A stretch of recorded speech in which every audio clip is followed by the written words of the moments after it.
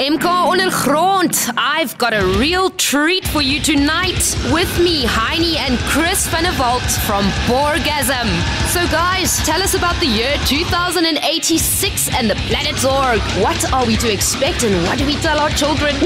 The year is 2086 and the General Big Lord Barbatus comes down from uh, the planet Zorg and, and, and, and invades planet Earth, which is known as the Aporkalypse. So we uh, saw a witch doctor and traveled back in time to today, and now we're here to warn you about the Aporkalypse. Okay, so tell us the truth. What is the real fascination behind hogs apart from inward grunting? Do you enjoy pork now and then? We heard you roasted an entire pig at your album launch.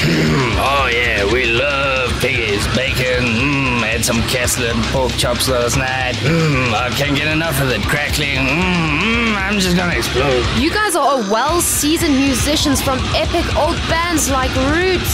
So tell me, how does this influence Boargazm?